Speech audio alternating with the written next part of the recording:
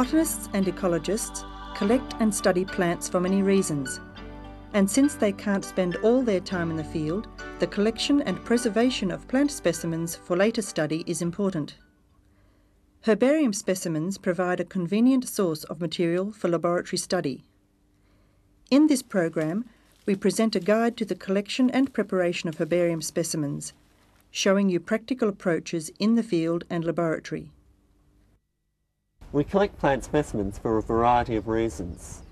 Firstly, they vouch for the occurrence of plants in particular areas. They're used in vegetation surveys and floristic studies, and as such, form a basic part of our audit of biodiversity. Herbarium specimens vouch for the authenticity of names used in particular studies. For example, a biochemical study of potential anti-cancer compounds. Herbarium specimens form the raw material for taxonomic studies, looking at variation, biological variation, and evolutionary relationships. Thus they are used extensively in flora projects at the local, state and national level. And they're also crucial for worldwide studies of particular plant groups. Taxonomy is a two-way street. Information from other disciplines is synthesized into systems of identification, names, and classification.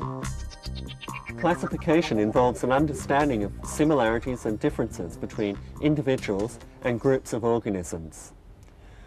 The question of who is related to whom is set within an evolutionary framework. Nomenclature refers to the rules and processes of giving organisms an unambiguous handle by which we can refer to them. In other words, names. Identification is the task of assigning an unknown plant specimen to a known entity, a named species, genus, or family. In terms of understanding how plants work, taxonomic studies deal with biological variation, with all aspects of the structure and function of plants, how plants breed and disperse, the relationship of plants to the environment, and plant distribution.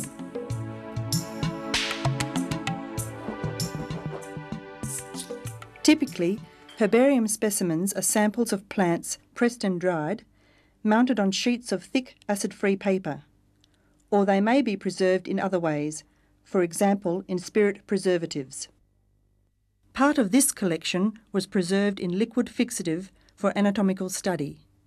These herbarium sheet specimens serve as a voucher for that study. This is a type specimen. Its name, Callistemon pungens, is tied to this particular sample. Well-prepared herbarium specimens, using the techniques presented in this program, will last indefinitely if insect pests and moulds are kept at bay. This collection was made by Robert Brown in the early 1800s during a collecting trip with Matthew Flinders and Ferdinand Bauer on the Investigator. Specimens twice this age exist, and so you can see that herbarium specimens form a, a valuable cultural and scientific resource. This specimen's on loan from the British Museum for a current research project. Type specimens receive extra special care. Fieldwork always has the constraints of time and money, so it's important to plan the trip well and have a clear focus if you want to make efficient use of your time.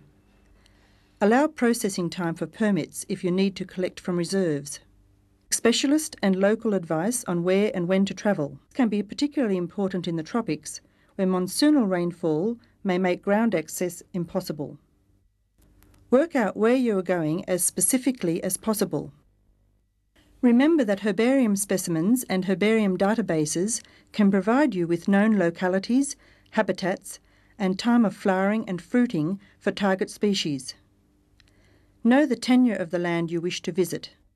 Permits are required from relevant services to collect within national parks, nature reserves, bushland reserves, state forests, and flora reserves. And you should seek permission of owners and leasees before collecting on private land. In Australia, each state has legislation for plant protection, mostly rare and threatened species. Plants on these lists must not be collected. For instance, in Western Australia, roadsides are an important and limited resource of natural vegetation, and permits must be obtained to collect even in these areas. What kind of vehicle you use depends on where you're going and how much space you need. Two-wheel drive vehicles cost less to run, but usually don't provide as much ground clearance or equipment space as four-wheel drives.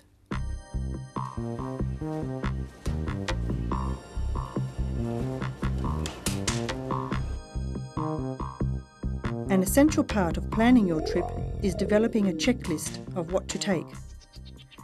Don't leave home without your hand lens. A botanist in the field is naked without one. A 10 times lens is just fine. Use secateurs to cut branches from shrubs and small trees. A clean cut makes for a neater specimen and minimises damage to the plant. Pole pruners can extend your reach by a few metres. A throw rope can reach beyond pole pruners. Weighted, strong fishing line is easily thrown over a branch. Well, eventually. Once over, a stronger rope can be attached, pulled back, and used to snap off the branch. A slingshot positions the nylon line with more distance and greater accuracy. Using this technique, you can retrieve specimens from trees of almost any height, even in forests with little room to manoeuvre. Climbing spikes, chainsaws and shotguns have all been used to collect plant specimens from tall trees, but they're rather hazardous and expensive techniques and are not recommended. Windfalls often provide a convenient source of material for specimens. Mature capsules of eucalypts can usually be found in windfalls. Binoculars are handy for confirming that windfall material is from the tree you are collecting. They're useful too for spotting key features of tall trees, especially in rainforests. What's below the surface is also important. Use a digger to retrieve the base of herbaceous plants and to see underground features.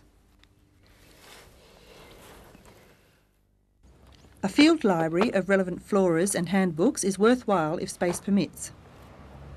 A field guide to eucalypts of this region helps us key out the eucalypt species that we find here. Photographs or colour slides of the area and of the plants helps you record and remember details of the site and also features of the plant that may not be preserved in the specimen. A first aid kit should always be carried in the vehicle. When on foot, carry a basic first aid kit and water. Know the local risks. In Australia, these vary from area to area.